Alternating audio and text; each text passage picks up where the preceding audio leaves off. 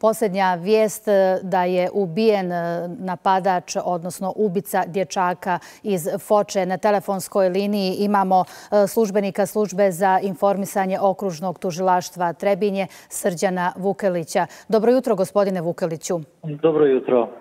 Đukanović, pardon. Vukanović, Vukanović. Da, molim vas, recite nam ono što je najvažnije i posljednje informacije o ovom nemilom događaju.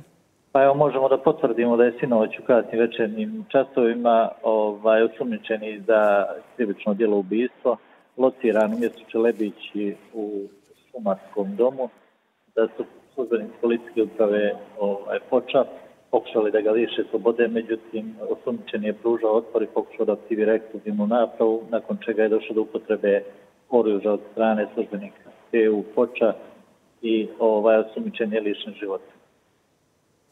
Nije bilo drugih žrtava, niko nije nastradao? Nije, nije. Niko nije nastradao, nije bilo povrijeđenih ni od strane službenika policijske uprave. To je što, ono što je, je najvažnije? To u ovom momentu možemo reći što je najvažnije zbog ovaj bezbjednosti mira građana, pošto je bilo velika uznemirenost javnosti u toj okolini počeo.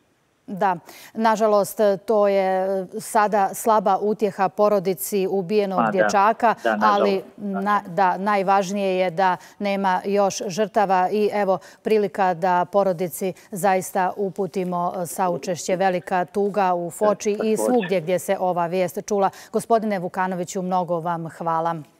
Hvala vam, prijatno.